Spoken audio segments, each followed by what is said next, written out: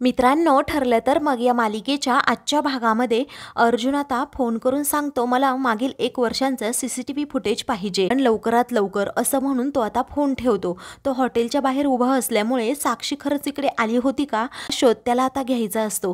त्यानंतर तो मनातल्या मनात विचार करतो की आता साक्षी जर इथे आली होती कधी गेली होती याचाही मला तपास करता येईल. दुसरीकडे अस्मिता आता प्रियाला विचारते काय ग?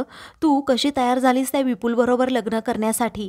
त्यावरती आता प्रिया म्हणू लागते अगं बाबांनी मला शपथ घातली की त्या विपुल बरोबर लग्न नाही केलं तर मग बघ आईच्या फोटोची सुद्धा शपथ घ्यायला लावली. अस्मिता मला माफ कर मी तुझी शपथ घेऊन सांगते. असं म्हणून ती तिच्या डोक्यावर हात ठेवते आणि म्हणते मला फक्त अर्जुन बरोबरच लग्न करायचंय. त्यावरती अस्मिता म्हणते तू माझी शपथ वगैरे घेऊ नको.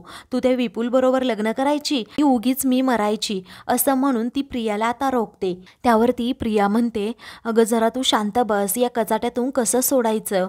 याचा तरी विचार कर ना मला ह्या विपुल बरोबर लग्नच करायचं नाहीये. अस्मिता म्हणते मला तर असं झालंय तू कधी माझी वहिनी होशील.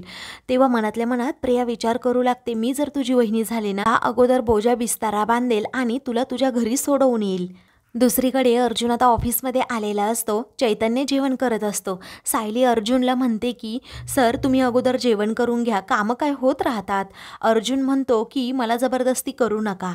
त्यावरती आता चैतन्य म्हणतो अरे जबरदस्ती आणि आग्रह हे दोन्हीही वेगवेगळे शब्द असतात. मला माहिती आहे रे अर्जुन तुझा जरा मराठीचा प्रॉब्लेमच आहे. तेव्हा अर्जुन आता चैतन्यकडे रागात पाहतो आणि मग स्वतःशीच हसतो आणि सायलीला विचारतो तुम्ही जेवलात का? सायली म्हणते नाही. त्यावेळी तो म्हणतो स्वतः तर जेवायचं नाही आणि दुसऱ्यांच्या डोक्यावर नुसतं नाचायचं. जेवा म्हणून जेवा म्हणून.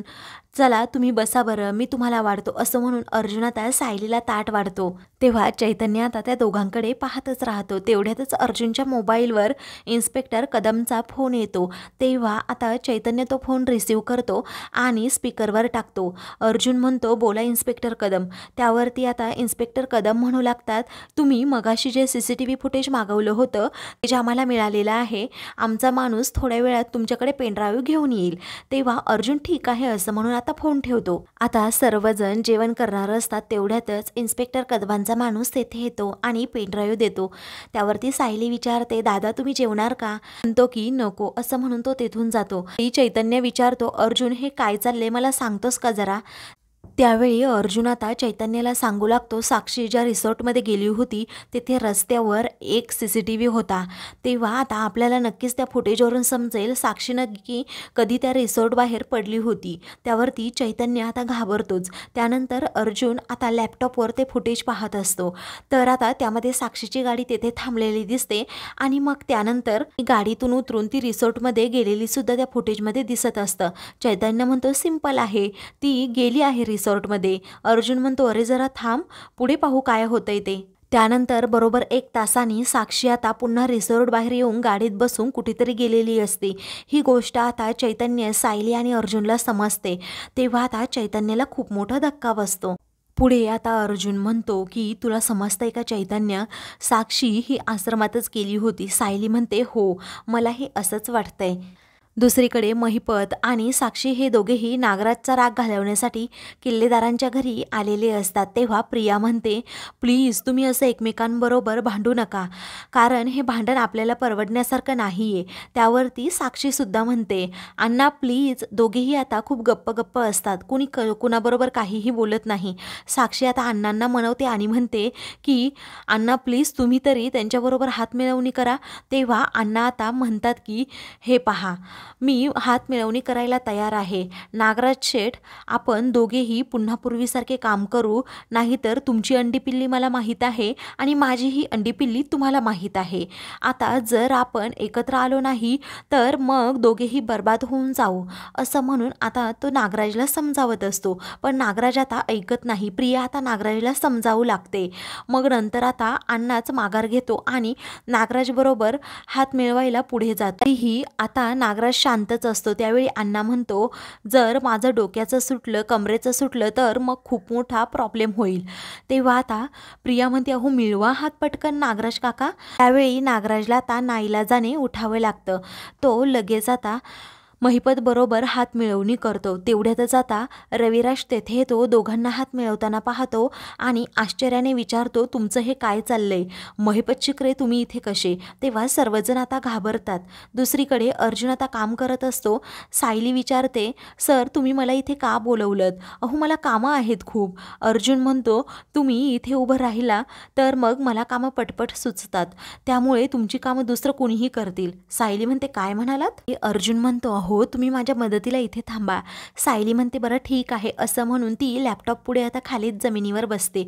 अर्जुन आता स्वतःची असणारी खुर्ची मागे घेतो आणि तो अगदी सायलीजवळ बसतो आणि तिच्याकडे खूप वेळ पाहत राहतो. दोघेही आता C C T V footage पाहत असतात.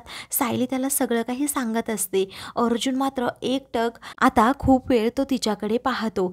त्यावरती आता तो म्हणतो की सो क्यूट त्यावरती सायली म्हणते कसलं ओ क्यूट अहो ही साक्षी आहे ना नाव फक्त साक्षी आहे. ती ना धडधडीत खोटं बोलती आणि तुम्हाला वाटते की क्यूट का? अर्जुन आता एकदम भानावर येतो. तो सायलीकडे पाहून पुन्हा एकदा म्हणतो क्यूट ते सायली म्हणते क्यूट कुणाला म्हणालात तुम्ही?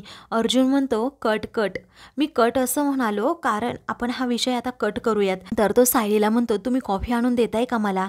म्हणजे आपल्याला पुन्हा कामाला सुरुवात करता येईल. सायली हो असं म्हणते आणि तेथून जाते. अर्जुन पुन्हा तिच्याकडे पाहत सो क्यूट असं म्हणतो आणि स्वतःशीच हसतो. दुसरीकडे आता रविराज विचार विचारतो तुम्ही इथे कसे? आणि अचानक त्यावरती आता नागराज म्हणतो इथे कसे काय म्हणजे? दादा तुझ्याकडे त्यांची केस आहेत ना म्हणून ते इकडे आले आहेत. तर ते आता महिपत म्हणतो काय करायचं? आम्ही आपली साधी भोळी माणसं. माझ्या मुलीवर जे बालंड आले ते मला काही सहन होत नाही.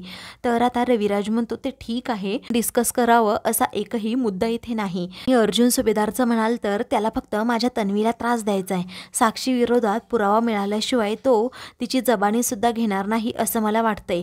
त्यावरती प्रिया म्हणते बाबा म्हणजे मला उद्या पुन्हा तिकडे कोर्टात यावं लागेल का? त्यावरती आता तुला सीन रिक्रिएट करायला सांगितला होता म्हटल्यावर तुला यावंच लागेल. असं आता रविराज म्हणतो. ती साक्षी म्हणते की मी काही केलंच नाही. मग माझी जबानी तरी तो कुठून घेणार?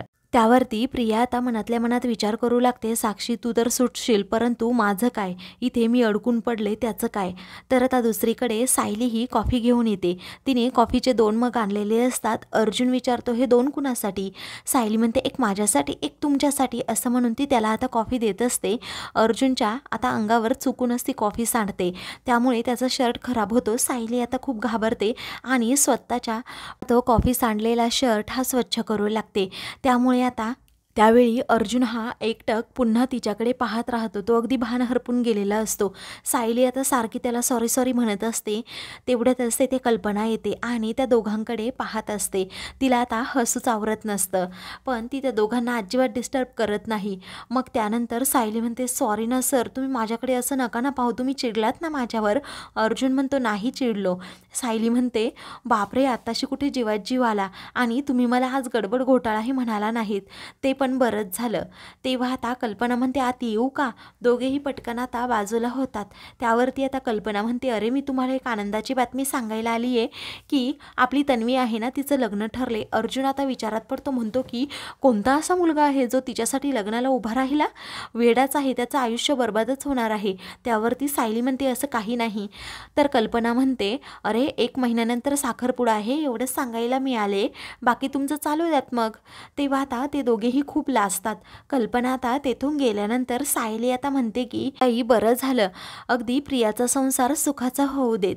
त्यावरती अर्जुन तिला दंडापासून हात जोडतो आणि म्हणतो ज्या मुलीने तुम्हाला एवढा त्रास दिलाय तरी तुम्ही तिच्याविषयी चांगलंच बोलता. सायली म्हणते हो. अर्जुन म्हणतो धन्य आहे तुमची. आपण आपल्या कामाला सुरुवात करायची का? तेव्हा सायली म्हणते हो. सायली आता खाली बसताना पुन्हा दोघांचं डोकं एकमेकांच्या डोक्यांवर आदळतं. अर्जुन म्हणतो मिसेस गडबड घोटाळा हो जरा नीट. सायली पुन्हा त्याला सॉरी सॉरी म्हणते. अर्जुन म्हणतो अहो पण असं एकमेकांच्या डोक्यावर पुन्हा डोकं मारायला हवं नाही तर शेंगा येतील. सायली आता हसते आणि म्हणते अहो शेंगा नाही शिंग.